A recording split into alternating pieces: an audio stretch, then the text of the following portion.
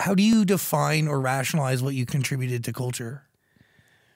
Uh, that's that's a very good question. I, I, I, I that's a tough thing to quantify in, It's in crazy. Any, in any.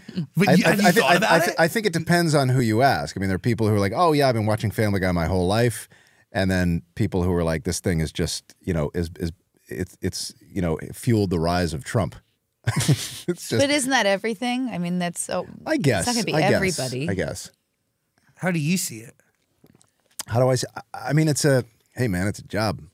I mean, I, I More than it's that. it's it's all I it's all I ever wanted to do when I was a kid. When I was in college, it was like it, it was all about hey, I, I want to make a show and I want to I want to be an animator. And uh, I didn't when I started. I was 24, and uh, there was a lot of luck that contributed to this. That I, I did a student film that was a rough version of Family Guy that was was in in many ways similar to the pilot of the show, uh, and it was exactly what people were buying at that time. So I mean, if I was pitching it now, I don't know if I would be able to sell it. But at that time, The Simpsons had taken off, King of the Hill had taken off. Everybody wanted animation and exactly this kind of of adult animation, and so it was my timing couldn't have been better. Um, but I didn't have anything to compare it to, and I thought, oh yeah, you oh you pitch a show, I guess you just sell it. I guess that's what happens. Um, and never thought it would be, you know, how however long, so 24 years later, and we're still doing it. Never would have thought that was the case. Do you So wonder don't- why? I haven't ever stepped. Uh, why? Why? Why it's still on today? You know, I I think it's just as simple as that. It's it's funny, and it doesn't really try to. I mean, yeah, there's there's social allegory and there's there's political commentary, but at the end of the day, that's all secondary to the fact it's a show that. You know that writers' room is just full of really funny people who are out to get laughs, and that's that's what the show is. And it's like it's people say, yeah, man, I listen to, I, I watch Family Guy. It helps me fall asleep, or I get stoned and I watch Family Guy, and it's and it's, you know, I, you, you could take that as a, oh my God, I'm making kitsch instead of art, but but to me, it's like no, that's that's the show doing doing its job, and and that's kind of what it's here for, and I, and I I don't think it's any more complicated than that. I think it's just it's a show that sets out to be funny. People like to laugh, and it works out for everybody. Is there a joke that surprised you that's like really gone off and taken a life of its own? Like I'm thinking of like two off the top of my head. The chicken, The chicken- Kool-Aid man. Yeah, I mean, the, well, yeah, you, you never know what never know what they are. The the Stewie going, mom, mummy, mama, mama. That that is never would have thought that. I mean, the the the forever. the, uh, the Trashmen song, "The Bird Is the Word," is is one that that just uh, will not die. Um, yeah, I mean, there, there there are jokes at this point that that fans of the show will bring up. And, and it takes me a second, and I like man, we've done what 350, 400 of these things. I I, I got to think for a second, like when was that? What year was that? Because I haven't written on the show since like 2009, 2010, some, somewhere around there. Whenever I whenever I started doing Ted, I I stepped away. I ran that show for about you know 11 years, and then I and then I said, all right, it's all you guys. How hard was that? It was it was it was tough, um, but it was easier than if I had kept one hand in it. I, I'm the kind of person that I can either give a thousand percent to something or none at all. I cannot do.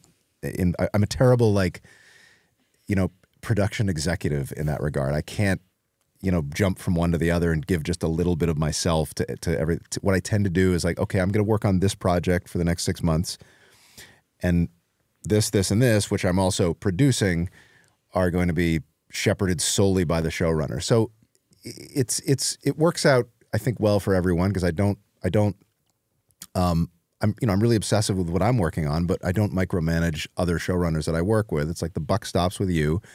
It's been ten years since I've said to Family Guy, I, I don't think we should do this, or I, right, I don't you know don't do this. Let's do something else. Like I I I've never since then. If I'm not running a show, I don't. Uh, impose any edicts on the people who are it's like it's it's your show now the buck stops with you and it's your call i can, I can give you my thoughts and my advice but i'm not going to tell you what to do and what not to do By the way, really special, and not many people would do that or have the ego to do that, right? Because there is a certain level or of it's ego just and laziness trust.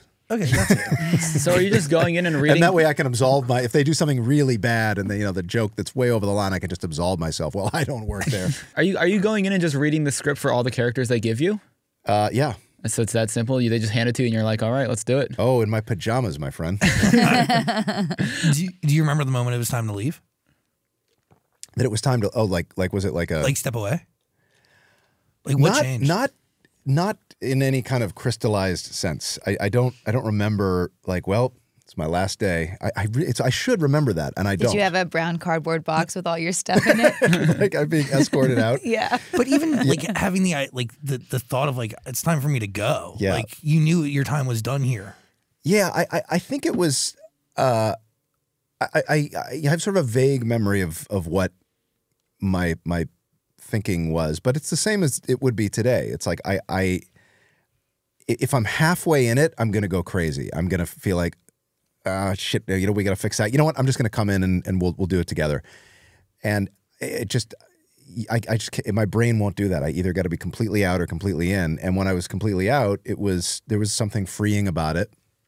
Um, I did I did have some concern for the future of the show, uh, but it's somehow sustained. It's like the the the people uh, who've been working there are a lot of the same people that were there when I was running the show, and they've done a great job in my absence. So, uh, you know, I, I got lucky with with a good team.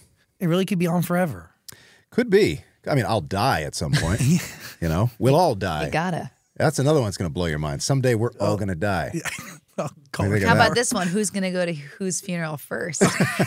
I like that one. I think I think about that one a lot. I think Liz, you'll you'll you'll just kind of have a string of all of our funerals that you'll have to attend. exactly.